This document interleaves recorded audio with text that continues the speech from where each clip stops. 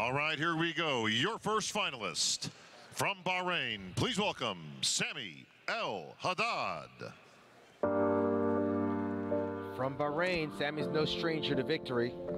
Won the Irish Championships that Muscle Contest put on a year ago in Limerick, Ireland. Gym owner. He won the Amateur Olympia over in England. This is his fourth Olympia appearance. Got a strong following out there in Bahrain.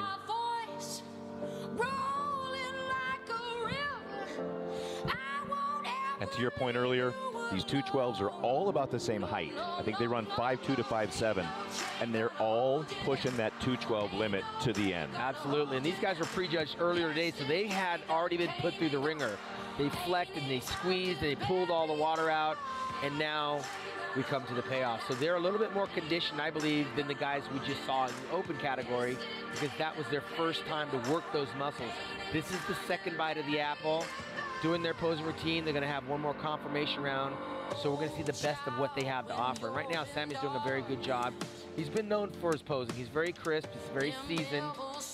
And right now, he's in very good condition.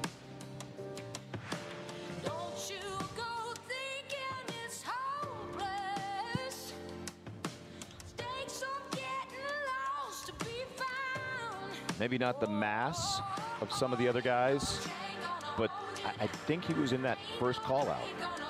He would be in the first call out of any 212 contest, but he has a tendency to fade in certain areas at times.